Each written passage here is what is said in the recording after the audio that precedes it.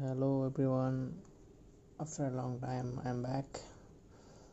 Today we are going to learn about protein preparation.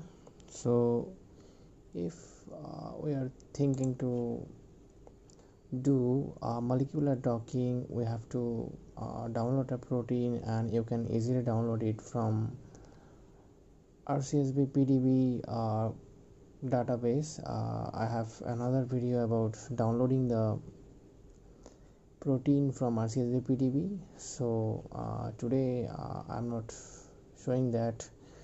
Uh, so uh, first of all you have to download uh, a protein from rcsb pdb then i'll show you how to prepare this protein for doing molecular docking first of all you have to go to the discovery studio uh, then open your file uh, what you are thinking to.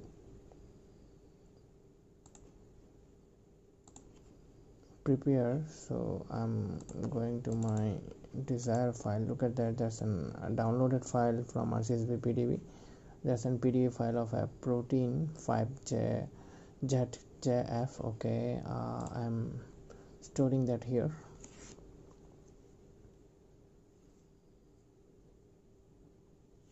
Look at that. You can see here so many protein chains are there. Uh, that's an a b c. So many protein chains are there. So uh, which one you have to select? First of all you have to know about that which one you are thinking to select. Uh, to know that uh, uh, yeah that's true that you have to uh, do everything rationally. So uh, as it's an in silico uh, everything you have to do rationally uh, to do rational drug design. So you first of all you have to know uh, what protein you are thinking to uh, what kind of chain and which chain is your desired chain. So to know that you have to go to the uh, rcsb pdb look at that that is the protein what I have already downloaded and I stored it in Discovery Studio. Uh, if you go below then look at that. This protein have a lots of chain here. And which chain I have to select? There's there's some dilemma okay.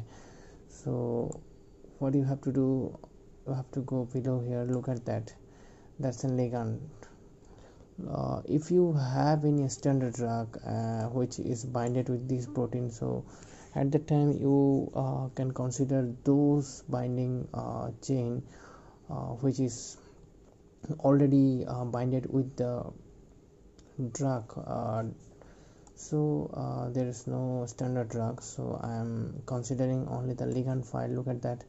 This ligand has already binded on c. There's a chain c so I am thinking to select the chain C and if you have a couple of chain then you can uh, select only one uh, based on some parameters. So, so we are gonna going to delete rest of the protein. Uh, those are not for us. Look at that. Don't delete only C because we are uh, working with DC and click here and press ship and click over there. Look at that all of the chain I have already selected and that's a delete button. You can delete from here and uh, if you're uh, you can delete also from here okay. So I'm deleting the those protein and look at that here. Uh, it has also couple of chain. I'm deleting that uh, you have to delete all of them uh, only just not to delete the chain C and you have to keep one thing on your mind that no need to delete water and ligand in this portion okay? Uh, you just you have to delete only the chains not anything else. So that's our desired protein and uh, now you have to save it here uh, from the save as file. Look at that. I'm just clean this protein so i'm saving that as a clean in pdb format.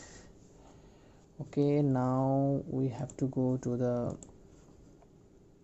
another software. There's look at that. That's a software of uh, software of Swiss Institute of Bioinformatics and that's in Swiss PDB viewer uh, you have to download that. And after downloading that it's in free so you can easily download it. So just click on op uh, file then uh, open pdb file. After that look at that you have to go to the uh, select the only clean one what you have already cleared okay. So open that file and look at that. Uh, here two types of window is here. So now uh, I have to work on this window. Uh, that is our desired protein and just click select okay then all. Uh, that means you are selecting all the protein uh, sequences and now uh, you have to go to the tool and look at that. It has an energy minimization option. Click over there and look at that. Here is a uh, another another uh, types of window is showing here and that is only already in progressing and you have to wait for a moment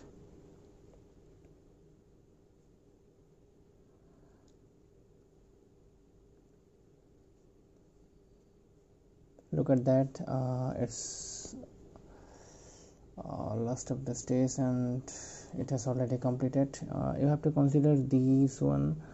Uh, that is the GROMACS 43b1 parameters uh, what you need to uh, consider that for your manuscript writing. Okay. Then we have completed. Look at that. There is an minimization of what they have done already for our protein. So now we have to save it click file and save. Look at that you have to uh, save on current layer. And save here as Swiss okay. I'm, I'm uh, saving that as a Swiss. Okay uh, it has completed already. Now we are out of this software now. We have to open it again on discovery studio. Look at that. We are opening that on discovery studio. That's a which one? We we are only consider the swiss one where what we have already minimized okay?